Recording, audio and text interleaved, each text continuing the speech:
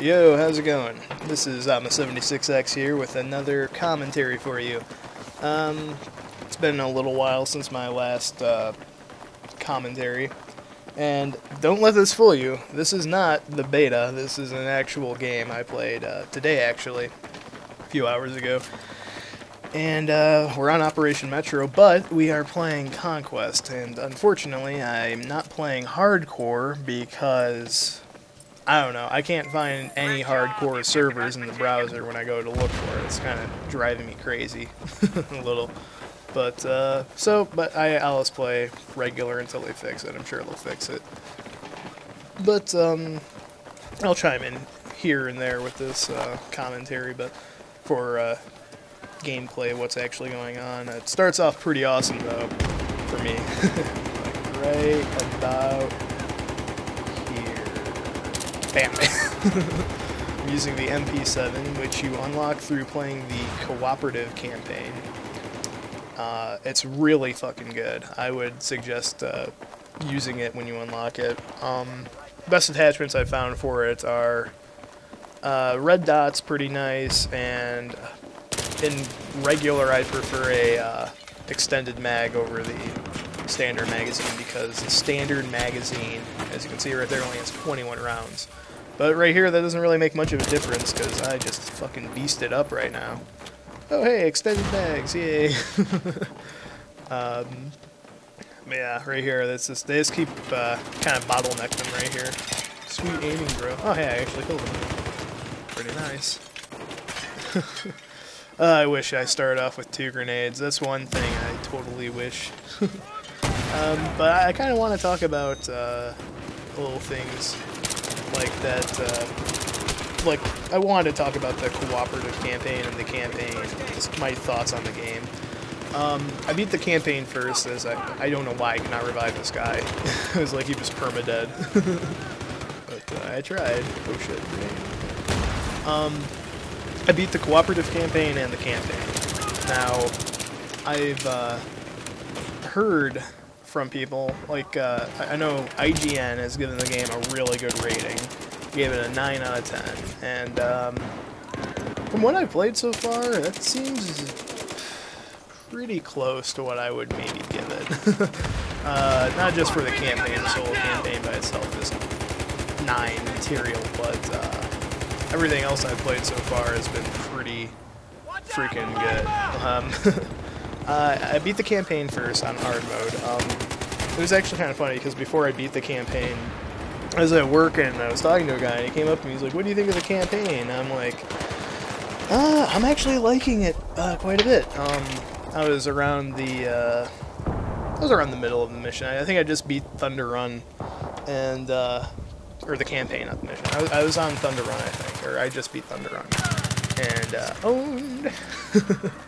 um, and uh, you know, I was like, yeah, I'm, I'm, liking it pretty much. I got I got caught up in one part of the the campaign uh, where you have to eliminate the MG nests on uh, Operation Guillotine. That really pissed me off. Um, I, will have to say that like every, it seems like every first-person shooter does a few things like they, they kind of all do like a one thing in common, like whatever it may be, and of of the entire genre, I hate taking out MG nests. It's the cheapest thing. Like, I fucking hate taking out MG nests. Oh, this asshole. whatever. I don't even know where he came from or why no one else killed him, but whatever. No, I hate taking out MG nests. It's the most frustrating thing. This, the only part of the game I actually got caught up on for considerable amount of time was taking out those MG nests because I play the campaign on hard and uh, you know, I was like thinking like either I could, you know, capture footage of each individual mission and make a full-blown review of the game, or I could just talk about it while playing multiplayer. And uh, this is what I chose to do, just because I don't think the time and effort it would have taken me to put into it I could really do right now, considering how busy I am. I'm actually probably should be working on another project right now for school, but uh, fuck it. um, but anyway, yeah, so I, I hate that part. I, I, got caught up on it for about an hour or two, which is uh, pretty pretty bad, but I've been in worse situations, like on Black Ops, where you have to run down the hill in Vietnam to throw the napalm tanks in the fucking trenches. That took me. I was getting pissed. I actually considered fucking dropping the difficulty for that part, but I didn't. I was able to get through it once I figured out you're supposed to kick the barrels over into the trenches. but uh, no, he's like, oh man, I'm, I don't really like it, man. I think it's uh, really short. I'm like, short. I'm like, well, I mean, I got caught up on that one part for about an hour, but like, uh, I, I didn't think it was short by any means. I mean, it took me probably about seven or ten hours, which is pretty reasonable considering, you know. And um, I'm like, well, what difficulty do you play it on? Bullshit. whatever. when he runs away, uh, whatever. Um, but anyway, I'm like, well, what difficulty do you play on? He's like, oh, easy. I'm like, well, of course you're not gonna fucking, you know, it's not gonna take you any time if you play it on easy. Like, what are you talking about? Oh, right here, watch this. Kill that guy. I didn't even see this guy in the fucking corner because you know, I go over here to revive my teammate, and this fucking guy, I didn't even see him. Look, his fucking legs are through the wall. Like, what the hell is that shit? The one thing in Call of Duty that Call of Duty does realistically, and you can't even see your fucking legs when you do it, is your invisible legs hit the wall so you can't do shit like that. You'd be sticking out a lot more. Like, but you can see your legs in this game. You can't see them in Call of Duty. Like, it's so confusing. So, this is the I should have cut this out to make myself look even better, but uh, I get killed like three times in a row here from three guys in a corner. Like, that was the first guy right there. I'm around doing whatever. I saw some red dots on my radar. Um, in terms of multiplayer, that's a weird thing, because I, I love playing hardcore. I did get a chance to play a little bit of hardcore, but, uh, like, the servers are down, like, right now, like I said, but you can see your map. Watch this. So I know these guys are over here now, and what a failed grenade. I'm like, about to go, look, I die. I'm like, what the hell killed me? What, what's going on here? A guy in a fucking corner again, doing the same exact bullshit with his legs through the fucking wall. What an asshole.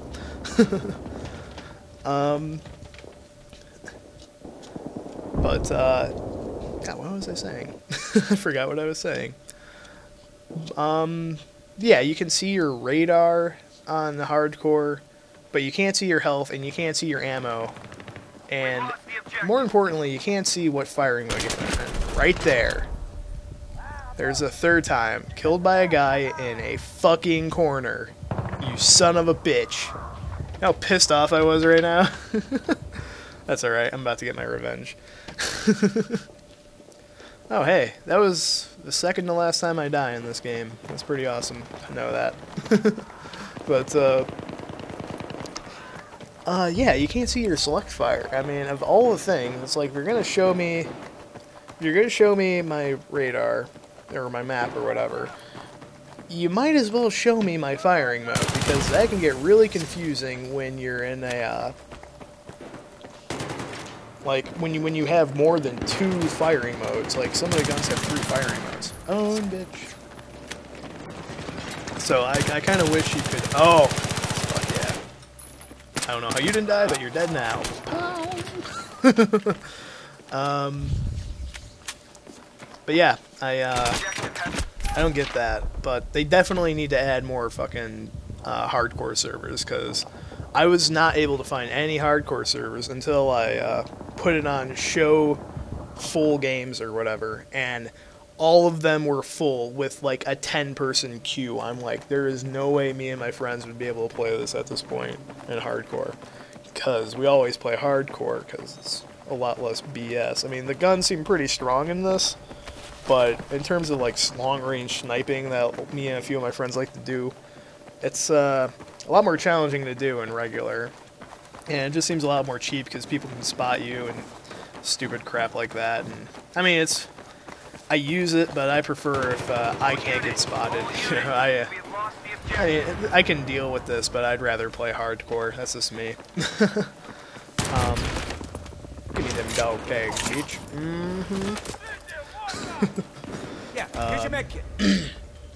yeah, in terms of the campaign, I enjoyed it. I thought it was a mixture of Call of Duty 4's own bitch Call of Duty 4's campaign and Black Ops campaign, but I don't think it's as good as either of those campaigns. yeah, fuck you, kid. um, I don't think it's as good as either of those campaigns because they both, well, I don't know, they both had uh, some pretty epic moments. How, I see if that were hardcore, those guys would have both been dead a long time ago. But watch this. Uh, fucking run up and knife you.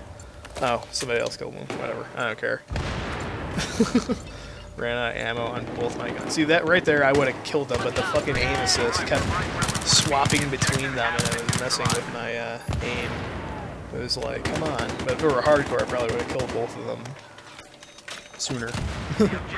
um, but uh, I, I, will say that there are some pretty epic moments in the campaign. There's no like uh, super awesome. Here's the first aid, man. Like, like in uh, like super awesome like moment in particular that I can. Uh, I, I enjoyed pretty much all of the missions but uh, like for example, in Call of Duty 4, there, Call of Duty 4 was by far, in my opinion, the best uh, single-player campaign in terms of a first-person shooter because it had two awesome moments that were just like, holy shit, that's cool. Like uh, when you're in Chernobyl and sniping, you're gonna go snipe uh, what's his face Zakhaev, and uh, when you get nuked, you're not expecting that to happen. That's like a what moment, you know. And then Black Ops was uh, I don't know, like, it, it had a really interesting storyline. It did the, uh, a very interesting thing when you go back in time to play as, uh, uh, what's his face? When you play as, uh, God, what's it, why is, I keep thinking Ramirez, but it's not Ramirez, it's a Russian guy that you play as, uh, or the, the Russian imaginary friend, I can't remember his name as. Reznov, there we go. Reznov! uh, that, that's an awesome mission. And the, those are the kind of things that, uh, those are the reasons why Call of Duty usually has a better single-player campaign. Like, I, I will say that I like this campaign better than I like Bad Company 2's campaign, and I really like Bad Company 2's campaign, but I think this is a really, it's a fun campaign, and one thing it does better than the other ones is it gives you some amazing imagery in the missions, just that's awesome stuff. But uh, you know, I, I, would give the campaign probably like a seven and a half or an eight, just because it doesn't feel quite as original, but it is interesting. It's like it's got a more realistic feeling and twist to it. So I mean, it's it's not that bad. Um, it's it's just not. Uh, it wouldn't win movie of the year. you know what I mean? But it's pretty fun. Um, could I give this game a score at this point in time? I, I would give it a uh, at least an eight and a half, at the very least, to an, a nine. So once they get a few kinks out of it, I mean, it would probably be uh, perfect. Like once they get the servers all set up and stuff.